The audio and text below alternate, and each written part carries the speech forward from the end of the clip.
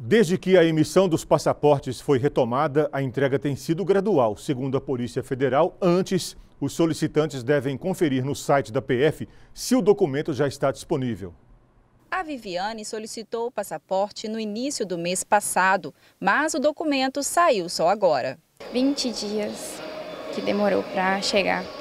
Aí eu estava até ansiosa para chegar e nada.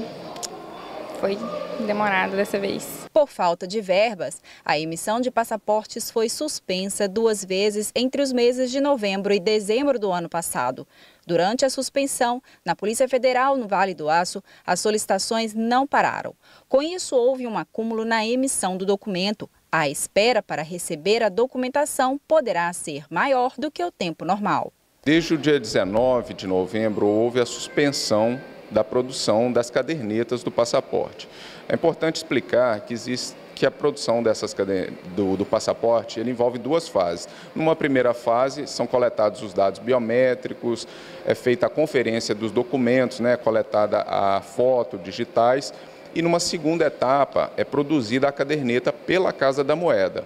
Somente a segunda etapa é que foi suspensa no dia 19 e retomou agora no dia 24. Então, todas aquelas cadernetas que estavam pendentes de entrega, ela, elas serão produzidas a partir de agora, a partir do dia 24, elas serão produzidas e serão entregues aos requerentes na ordem em que foi realizados os atendimentos. Segundo a Polícia Federal, os passaportes solicitados entre os dias 1 e 24 de dezembro só serão entregues aos poucos. A pessoa só deve vir ao posto da Polícia Federal buscar o documento quando constar no site que o passaporte está disponível para entrega. A produção, o processamento do, do passaporte, ele se inicia pelo site, né? a pessoa entra no site pf.gov.br, lá vai encontrar a parte relativa ao passaporte e ali ele faz todo o cadastro, gera o, a, o, o boleto para pagamento e também ele acompanha a produção do passaporte. Então a gente